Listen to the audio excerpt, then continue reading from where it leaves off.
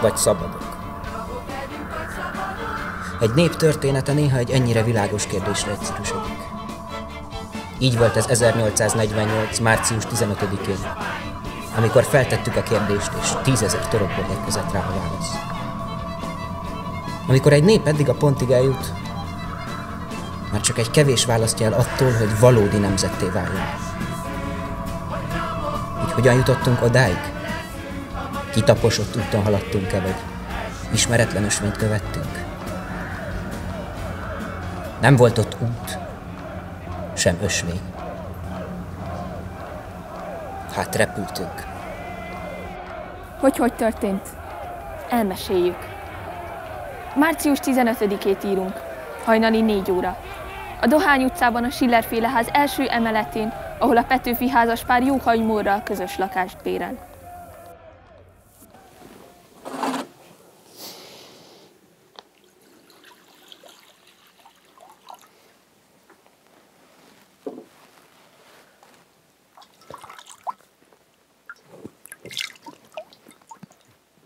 Hol találtad ezt a könyvet, Sándor?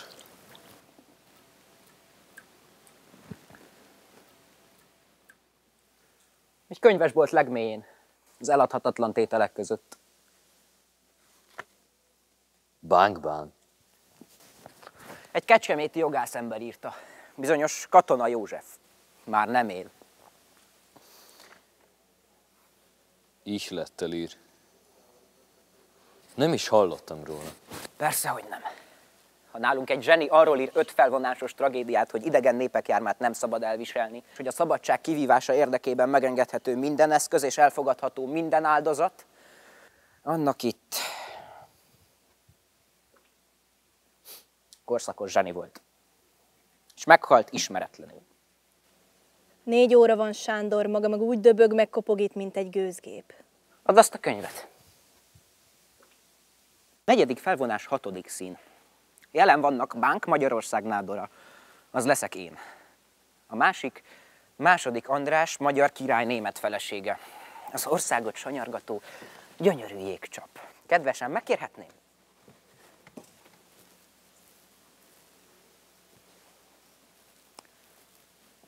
A kivérzett és elárult ország romokban. Az idegen királynő és a magyar bán között a feszültség a forponton. Gigászi az egymásnak feszülés. Bejártam az országot, és mindenfelé csak az elbúsulást talált. Udvarodat átkozza mindenki, és hazát fiait. És a királyné erre mit válaszolt? Erre?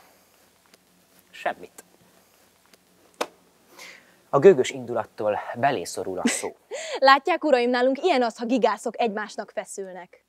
Az ember for, az asszony hallgat.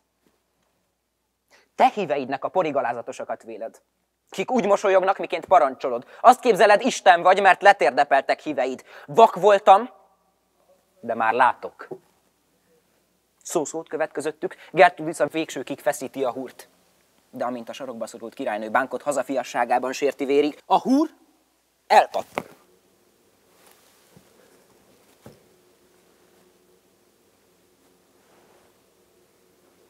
Csak nem tudja elengedni a színházat Sándor. Még mindig fáj magának, hogy nem lett magából színész. Tudom, hogy van egy szerep, ami csak rám vár. Egy olyan műben, mint ez itt. Ez példázat, barátaim. Példázat arról, hogy a szabadságvágy örök. És hogy a hóvirág a fagyott földből is felüti a fejét. Lángra kap a szikra. Sándor! Vigyázzatok, Sándor! tűzben állunk. Az utóbbi pár napban Sándor megváltozott. Mintha repedezett volna benne egy titkos rekesz, ahol a korábbi évei során mérhetetlen mennyiségű energiát halmozott fel. Sándor! Elvész ilyenkor nem tudom, hová bolyong. Sándor! Kedvesem! Tegnap már Bécsben is kitört a forradalom. Már a császár városában is képesek voltak barikádokat emelni a fiatalok. Nekünk is meg kell tennünk. Napok óta erről tárgyalnak a politikusaink, hogy Párizs és Bécs után Budapest következik. Én nem akarok tárgyalni. Nem akarok leíratokat beterjeszteni, szavazni. És tudjátok miért nem? Mert nem akarom, nem akarhatjuk, hogy a gyermekeink megismerjék a görbeség terhét, hogy milyen az. Dühösen és gyáván rettegni a holnapért. Hát mit akarsz, Sándor? Én oda akarok menni a monarchia kapuja elé, és a csizmámmal berúgni, hogy ezer darabra szakadjon. Elöntött, majd szétáradt bennem valami különös érzés. Egyszerre volt szeretet, nyugalom, és mindent elsöpörni kész erő. Bécsben kitört a forradalom. Irinyi fogalmazott egy kiáltvány, benne a követeléseinként 12 okos pontot. Én írtam egy verset. Kell ennél több? Nincs egy hónapja, hogy a sarki pékség gőzös kemencét vásárolt. Abban süti a bécsi pékárút, köztük azt a hosszúkás, rútszerű kenyeret, amit úgy hív mindenki, bécsi kenyér. Az emberek imádják. Nyitás előtt már ma is sorba fognak állni érte. Ha mégsem, annak kizárólagos oka ma ez a ritka pocsék idő lesz. Kedvesem, tisztában vagyok vele, hogy életem legnehezebb csatáit majd önnel kell megvívnom. De most engedje, hogy harcoljak a nemzetért. Én, én nem becsülöm le a Bécsi pékárút. Maga viszont ne becsülje le az írott és kimondott szó erejét. Gyerünk a pilvaxba! És Sándorunk kiviharzott az ajtón, de maradt utána a szobában valami különös erő. Rajtunk pedig erőt vett a lelkesedés. Menjünk!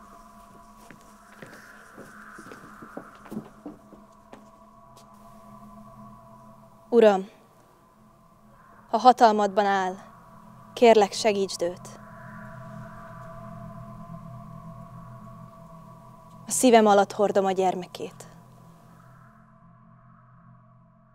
Hogy álltak-e megfigyelés alatt az úgynevezett másként gondolkodók? Persze. Magyarország ekkor már jól képített rendőrállam, és a falnak is füle van. Ő ott Szekrényesi Endre városkapitány, a rendőrfőnök. Ilyen korán kovalek. Kovalek Áron a Schillerféle bérház házmestere volt. Városparancsnok úr, legmélyebb tiszteletem. Ez már is három olyan szó volt, amivel nem közölt semmit. Deresre húzatom az alaksorban, ha a drága időmet fecsérli. Szekrényesi Endre reformer és nyelvújító, aki gróf Széchenyi István közvetlen munkatársa is volt már. Aki nagy emberek bűvkörében élt, aki a Lánchíd ünnepélyes alapkőletételére időmértékes verset írt, idáig jutott.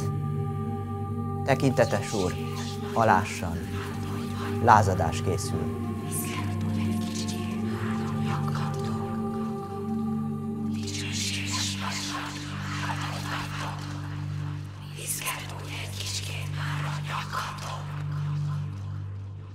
Na, tud maga.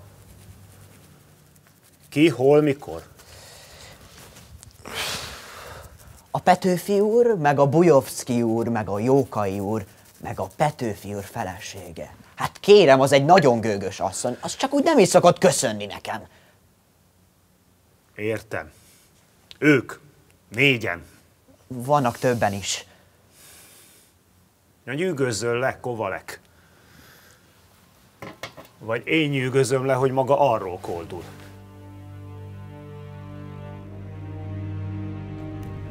Körkörös figyelem. Erről szólt minden. A hatalom figyelt minket, ellenzéki körösöket, mi pedig a hatalmat figyeltük, ahogy bennünket figyel. Kovalek Áronról is tudtuk, hogy besúg rólunk. Egy négy elemit végzett drótosnak csak ilyen áron lehetett jól jövedelmező házmester lakásra egy pesti belső kerületben.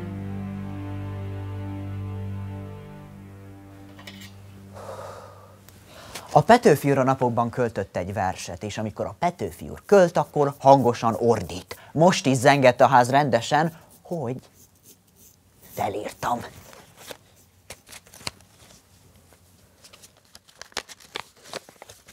Seonnai bitang ember vagy némber, szerintem inkább az utóbbi, mert a Petőfűr ezt mindig nagyon dühösen ejtette, akire rákentek a századok valami gyalázatot. Meg szó volt ott kardról, és hogy egy sír mellett mindannyian szabadságot esküsznek. Esküszünk, esküszünk, hogy rabok tovább nem leszünk. Leginkább ezt ordította, és hogy összejönnek a Pilvaxban, és ott majd mindent megbeszélnek.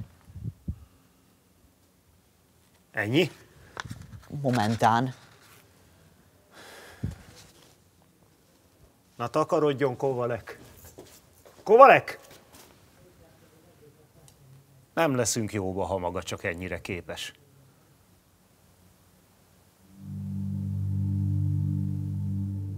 Már megint ezek a márciusiak, kis forrófejű költőcskék, ügyvédek, firkászok, nem találják a helyüket a világban. Hát, változtassuk meg, forogjon ellenkező irányba a föld. Láttuk Franciaországban, ez a előre ország népe harcra, aztán mi lett belőle? Lefejezett hullák minden utca sarkon. Itt Pesten rend lesz. Én Székelyhidi Szekrényesi Endre megesküszöm rá, hogy itt nem fogják a törvényes rendet megbontani az ilyen Petőfi-féle kis percemberek. Szekrényesi Endrét villámcsapásként érte a szó, ami kicsúszott a száján. A szó, ami eddig nem létezett. Percember. Hűha. Gazdag irodalmi pályafutása során már két szót is volt szerencséje megalkotni. Az egyik a piperkőc, a másik a ruhatár volt. Mindkettő bekerült a magyar nyelv vérkeringésébe, és széltében hosszában használatos volt. Mindkettő nagy elismerést hozott. Holnap beadványjal fordulok a nyelvművelő egyletbe. Kérelmezni fogom a percember szó Az ilyen Petőfi-féle felfúvalkodott izgága emberekre használatos, akik felett még aznap eljár az idő.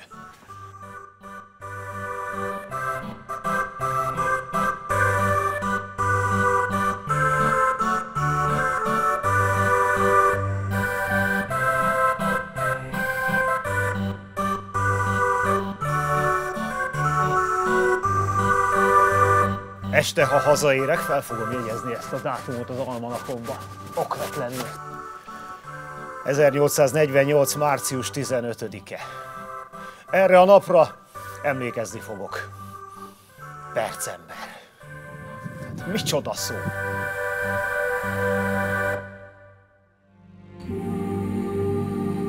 mintha kettős napra ébredtünk volna. Az egyik koszos, barna, ázott, hideg, ágyban marasztalós. A másik itt bent, amelyikben ezüstben és aranyban ragyog fel az ég. Annyira érzem ezt, ahogyan a kutya érzi az elásott csontot.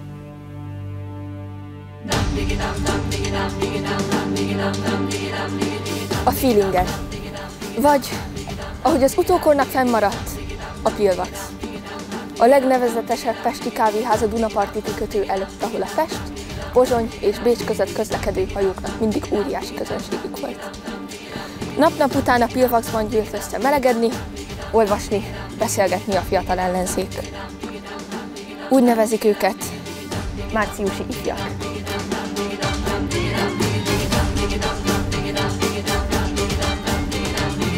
Jókai Mór, Tompa Mihály, Pákkal Bert, Bujovszki Gyula, Irinyi József.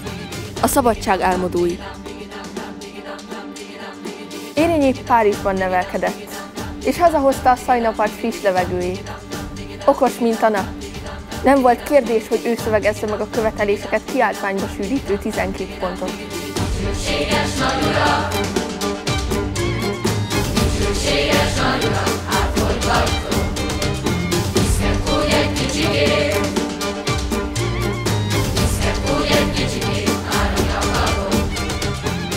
Kívánjuk a sajtó szabadságát, a cenzúra eltörlését. A szabadság felé vezető úton ez az első lépés. Felelős minisztériumokat Budapestre, Pozsonyban és Bécsben ne hozzanak többé bennünket érintő törvényeket. Ez a második pont. Dicsőséges nagy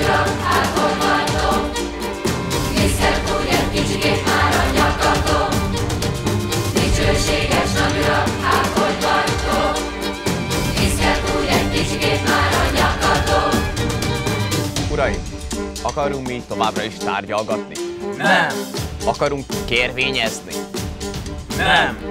Akarunk megalázkodni? Nem! Akarunk talpat nyalni? Nem! Úgy bizony. Mert mi nem akarjuk a haza kopott bocskorát örökké foltozni, hogy az legyen folt hátán folt, hanem tetőtől talpig új ruhákba öltöztetjük. Nem holnap után, nem is holnap, hanem ma. Egyszerű, tömör, világos. Ezt mindenkinek hallani kellene. És pontosan ezt is fogjuk tenni. Végig fogjuk járni az egyetemi fakultásokat. Az orvosit, a bölcsészetit, a jogit, az összeset. Úgy van. Én elszavalom a nemzeti dalt, Jókai pedig a 12 pontot. Miért pont Jókai? Nem Irinyi írta a 12 pontot? Hát azért, mert, mert neki van a legszebb orgánuma minden közt. Hö. Hő, Hö. hő. Legyen, majd gyakorlom otthon a szöveget a tükör előtt. Mikorra tervezed? Most. Irinyi úgy értette, mikorra tervezed ezt a felolvasás dolgot? Most. Vagyis, hogy... Most. Ó, De ezt nem lehet. Már 19-ére összehívtuk a nagygyűlést Rákos mezejére. Bujovszkinak igaza van. Több ezer főt várunk oda, hogy együtt határozzunk a további lépésekről. Nem várunk és nem tervezünk, barátaim, hanem erőt mutatunk, mégpedig ma. Mert erő nélkül nincs változás. Változás nélkül nincs jövő. De hát alig páran vagyunk itt. Most, de odakint százak várnak. Ezrek, milliók. Akarták. Ó, de mennyire akarták. És onnan már csak egy hajszál választ el attól, hogy tegyék is. Csak ezt az icipici akadályt kellett átlépni. Csak kell valaki, aki felemeli a fákját, és ha kell, maga is lángba borul. Barátaim, a mai nap nagy munkára hív. Gyerünk és tisztító tűzként perzseljük végig Pest és Buda utcáit.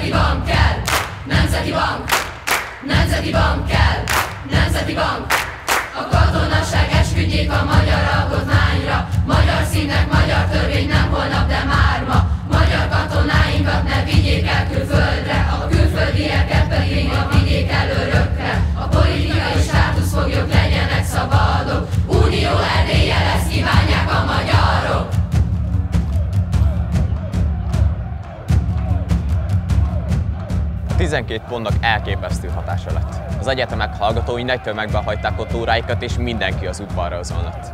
Kialakult egy lelkes és egyre gyarapodó számú menet, amelyhez az utcára és nagyszámú közönség, minden rangú és rendű Pest és budai polgár is csatlakozott.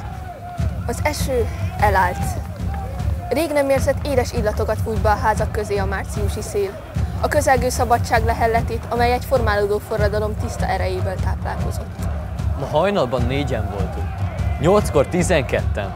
Most még csak kora délelőtt van, és már ötezren vagyunk. Ameddig a szemmel lát, lelkesült tömeg hömpölyög, aki egy emberként akarja a szabadságot és felfelcsapó hullámokban skandálja a 12 pontot. Mit kíván a magyar nemzet? Legyen béke, szabadság! Nem is tudjuk, hogy történt. Engem édesanyám a rőföshöz küldött méteres szelegért. Engem meg a kámféle kimérésbe friss tejért. Az egyetemnél jártunk, amikor láttuk, hogy mindenfelé emberek másztak kifelé az ablakon. És két faládán álló fiatal ember köré gyülekeznek lent az udvaron. Csoda jó ez! Csoda jó! Olyan jó látni, hogy mindenki boldog. Megyünk. Megyünk, hozzánk az élet s halál nem volt még így közel. Tudjuk, vész van a villámban, mely útjainkra fényt lövel. Szellőt, orkán felfog vitorlánk, arcunk fagyott, szívünk repes. Lenni vágyós, veszni kész nép, oly szép, nagy és rettenetes. Most már látjátok, ugye, hogy mindennél többet ér a kimondott szó. Most pedig megyünk és kinyomtatjuk a 12 pontot, hogy ne csak 5000 ember olvashassa, hanem százezrek, millió. A 12 pont, ami új szövetségünk. Szerződésünk a néppel, a szabadság felé vezető. A Landererbe! A Landererbe! A Landererbe!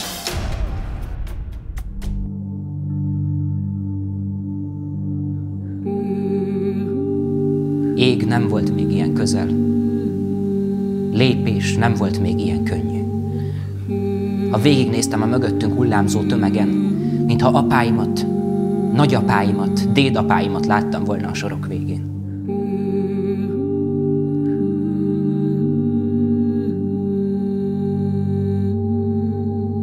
Évszázadban nyúlt ez a menet. Mindenkiért megyünk. Az egész nemzetért. Mert feltámadott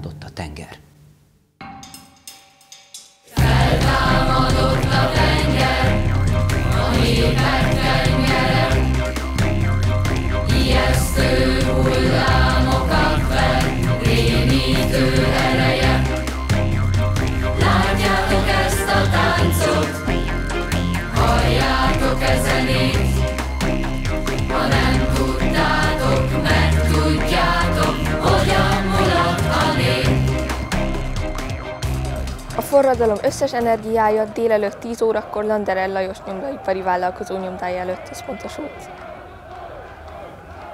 Landerer Lajos, régi német ajkú nyomdász dinasztia sarja. Az ő nyomdájában készült Kossuth Lajos Pesti hírlapja, valamint színházi plakátok és az európai irodalmi élet jelentős könyvei is. Jó kapcsolatai vannak a Bécsi udvarral és titkos rendőrséggel is. Mi tudjuk. Ő tudja, hogy mi tudjuk. Néha elég ennyi sorsközösség, de néha több kell. Sokkal több. Landerer úr, önön most a világ szeme. Nagy tisztesség ez nekem. Ez a kézirat itt, a forradalmi 12 pont. A magyar ifjúság, a magyar nép, a magyar nemzet üzenete. Kérjük, követeljük, hogy sokszorosítsa, hogy ma délig ott legyen minden asztalon.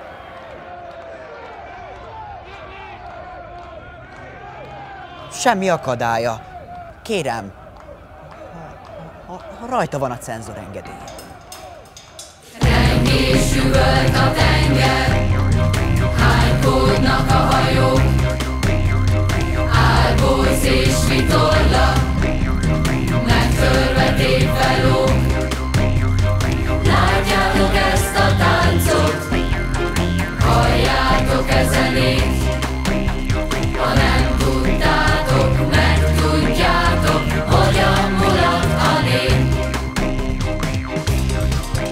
Hallja őket, Landerer úr. Hallja az özönvíz hangját, az egekig csapó hullámok zaját. Hall olyat, hogy pecsét? Nem! Hall olyat, hogy cenzor? Nem! Hall olyat, hogy vizsgáljuk meg a dolgot? Nem! Landerer úr, a világtörténelem pirosbetűs ünnepe ez a mai nap. Egy nép kezébe veszi a sorsát, mert már réges-régen készen áll az önrendelkezésre. Ha velünk tart, Landerer úr, akkor üdvözöljük. Ha meghajlik, elfogadjuk. Ha szembeszáll, ketté törjük. Önön a világ szeme, Landerer úr. Határozzon. Ha, ha, ha, ha, ha méltóztatna lefoglalni egy nyomdagépet a nép nevében.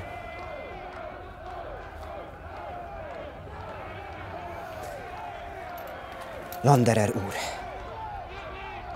a nyomdáját a nép nevében.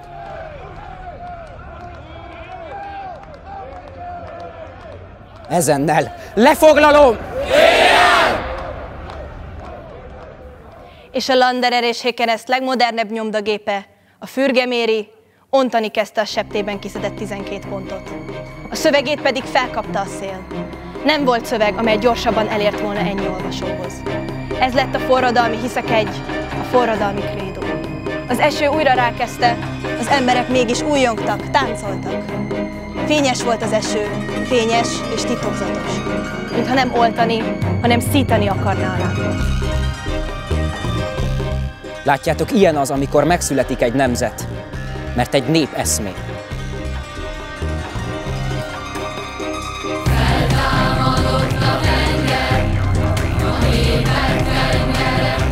Tombolt ki te özönvíz, tombolt ki magadat. Mutasd mélységes medved, s dobáld a fellegekre bőszült tajtékodat. Jegyezd vele az égre örök tanúságul, ha bár fölül a gája, s alul a víznek áll. Azért a víz az úr.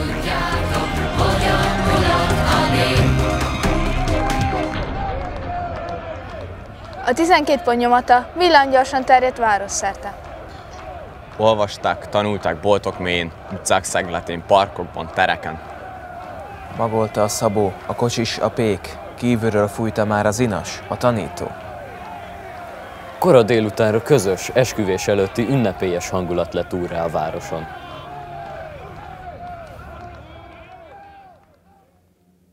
Mit szólt mindehez a hatalom? A fényesre subickolt bakancsok, a csillogó gumibotok. Ura vagyok a helyzetnek, gróf úr. Maga a saját beleinek sem ura. Neki vadul csőcselék grasszál Pest és Buda utcáin. Mit óhaj tenni, városparancsnok úr? Kegyelmes gróf úr a legmélyebb tisztelettel. A fővárosi kaszárnyákban 8000 honvéd állomásozik. Elég, ha a felük, a harmaduk az utcára vonul. Csak ráröffennek erre a bűnöző bagázsra. Talán ha ki tetszene méltóztatni, vezényelni a helyőrséget. A helyőrséget. Azt a helyőrséget, amelynek nagy része észak származású zsoldos. Most, amikor nagy a mozgolódás Észak-Olaszországban is a császári birodalommal szemben. Nem, nem tetszik szekrényesi. A leghatározottabban nem tetszik. Még csak az kellene, hogy a katonák puszta szimpátiából a lázongó magyarok oldalára álljanak. A katonaság a laktanyákban marad. És akkor én a legmélyebb tisztelettel. Mit csináljak? Rendet! Maga a rendőrfőnök. Vagy már nem maga a rendőrfőnök? Ne kelljen magában csalódnom, szekrényesi. Lelépni. Mire délután három óra lett, a forradalom kenyere megkelt, megsült, és tápláló étellé hatalmas ízletes kenyérré dagadt. Több tízezer ember a Nemzeti Múzeum előtt, készen arra, hogy esküt tegyen, és végső csapást mérjen a Habsburg kúliátra. Talpra magyar! Híja haza! Itt az idő, most vagy soha. Rabok legyünk, vagy szabadok? Ez a kérdés, válasszatok. Rabok voltunk mostanáig, kárhozottak ősapáink, kik szabadon éltek, haltak, szolgaföldben nem nyughatnak. Magyarok istenére esküszünk, esküszünk, hogy rabok tovább nem leszünk. Esküszünk,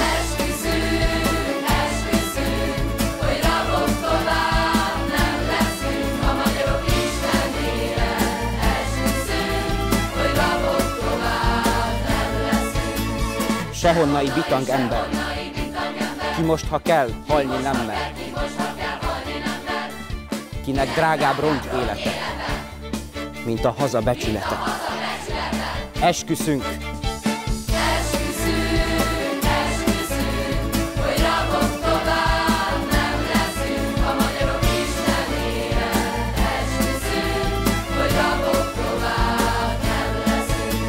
fényesebb a láncnál a kard, jobban ékesíti a kart. És mi mégis láncot hordunk? Ide veled, régi kardunk. A magyarok istenére esküszünk, esküszünk, hogy rabok tovább nem leszünk.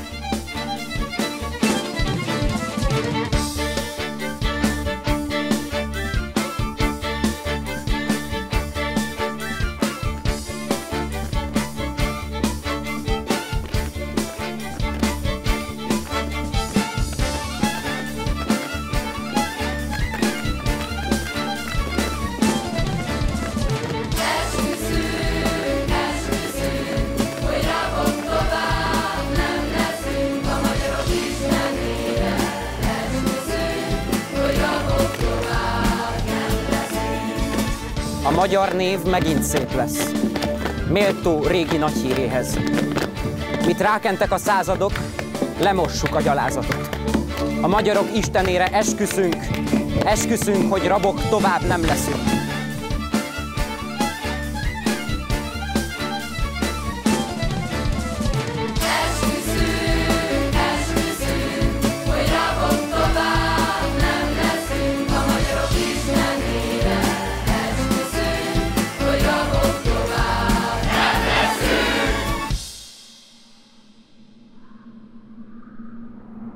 Hol sírjaink domborulnak, unokáink leborulnak, és áldó imádság mellett mondják el szent neveinket. A magyarok istenére esküszünk, esküszünk, hogy rabok tovább nem leszünk. Ami még hátra volt, az nem volt már egyéb, csak egy rezsim összeomlásának végjátéka. Honnan tudtam? Nem tudtam. Senki sem tudhatta. De tudta mindenki. Nem akartunk többé sorsa elől menekülő nemzet lenni. És nem akartunk többé utána nézni az elszalasztott időnek.